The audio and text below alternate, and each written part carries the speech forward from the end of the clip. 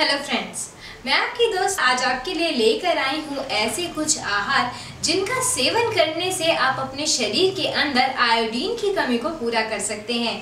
तो आइए, बिना किसी देर के आज जानते हैं ऐसे ही कुछ आहारों के बारे में। टिप नंबर वन है मुनक्का।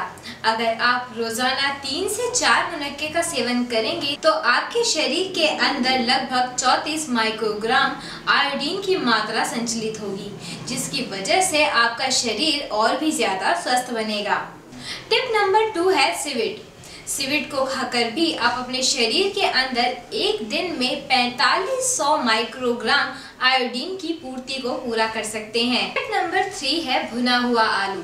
अगर आप आलू को तलने की बजाय उसे भून कर खाते हैं तो आपके शरीर में काफ़ी पोषक तत्व जाते हैं, जैसे कि पोटेशियम और आयोडीन।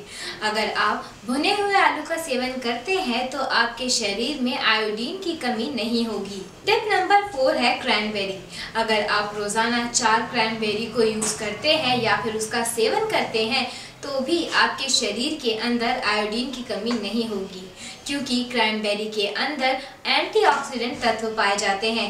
इसका सेवन करने से अर्थराइटिस की ग्रंथि भी प्रजनन की क्रिया को अच्छा बनाती है। टिप नंबर फाइव है दही। दही का सेवन करके भी आप अपने शरीर के अंदर आयोडीन की कमी को पूरा कर सकते हैं।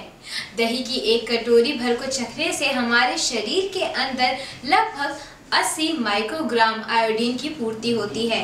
सो so फ्रेंड्स ये थे कुछ आहार जिनका सेवन करके आप अपने शरीर के अंदर आयोडीन की कमी को पूरा कर सकते हैं।